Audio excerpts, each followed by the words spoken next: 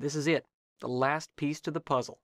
After creating a player object, some enemies, and a way for the player to interact with those enemies, that is, to shoot things at them, we've got a game.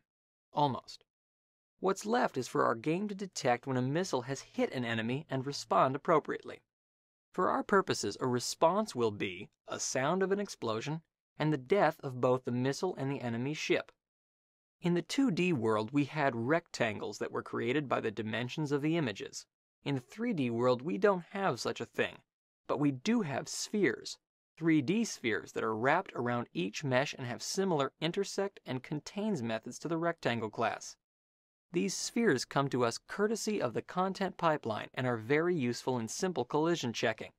They're not highly accurate, unless your model is a sphere, but they'll work for us. First, let's figure out exactly where we need to test for a collision between a missile and an enemy. A reasonable place is inside the update missiles method, so let's go there.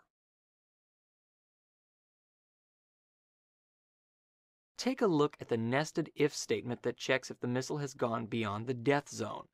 Right after that, we're in a good position to put in an else statement because we're already inside an if statement, the one that checks whether the missile is alive. We know two things if we put an else.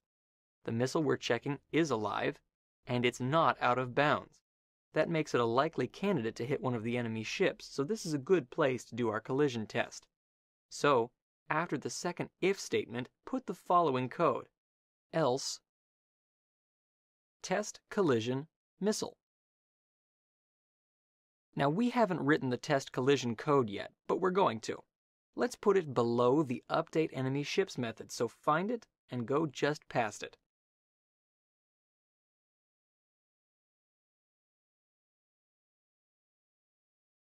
Add this code. Void test collision, game object, missile. This method doesn't return anything, but it does take a game object, the missile we want to test. Add the following code inside this new method. Bounding sphere, missile sphere, equals missile.model dot meshes 0 dot bounding sphere. Bounding sphere is the type discussed earlier. It's a sphere that can test intersections and collisions. Inside each model, as you learned earlier in the tutorial, are one or more meshes.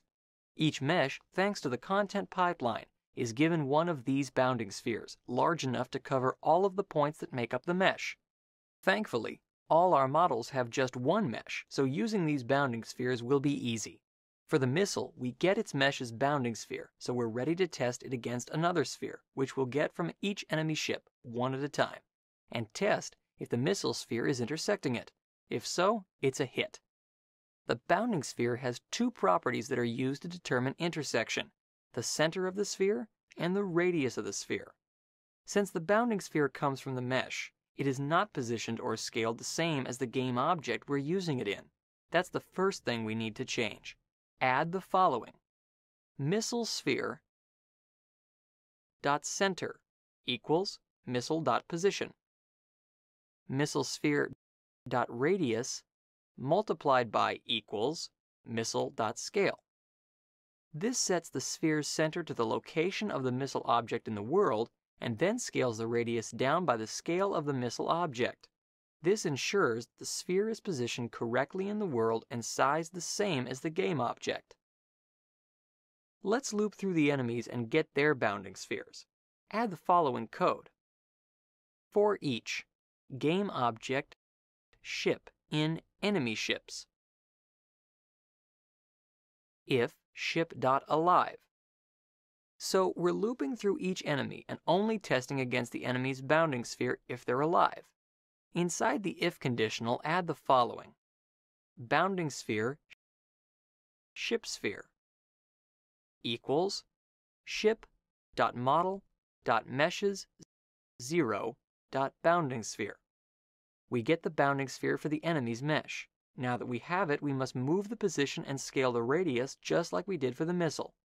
Add the following. Ship sphere dot center equals ship dot position ship sphere dot radius multiplied by equals ship dot scale. Now, with a bounding sphere around the missile and a bounding sphere around the enemy ship, check if they intersect. Add the following. If ship sphere dot intersects missile sphere. The code inside this if conditional only runs if the two spheres intersect. To test that, we use the intersects method which is part of the bounding sphere class. So, if the missile and the ship bounding spheres do intersect, then we have a collision.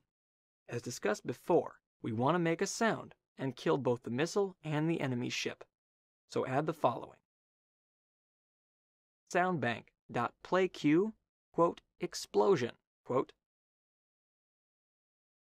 missile.alive equals false, ship.alive equals false. We'll play the explosion cue we created and set both the missile and the ship alive flag to false. That's it. Now we can shoot down ships. Use short four right curly braces to close the intersect if, the alive if, the for each, and the method. So add four right curly braces. We're ready to test our game out in its final form. Build and run it. Click the right pointing green arrow or press F5. If you're on Xbox, make sure you're in the XNA Game Studio Connect at the Connect to Computer screen. Now try it out. Rotate the launcher, take aim, and fire at the approaching UFOs. If you score a hit, the UFO disappears with an explosion sound. You've put together the beginnings of a great game. You've learned about 3D graphics, input, collision, and sound. There's so much more to explore and build, you're just getting started. Where to go from here? You've got a wealth of resources at the XNA Creators Club online website at creators.xna.com. From samples to technical articles, right up to whole game starter kits, you've got everything you need to take your game to the next level. Build onto this game. Add your own goals, challenges, abilities. Make this game truly yours.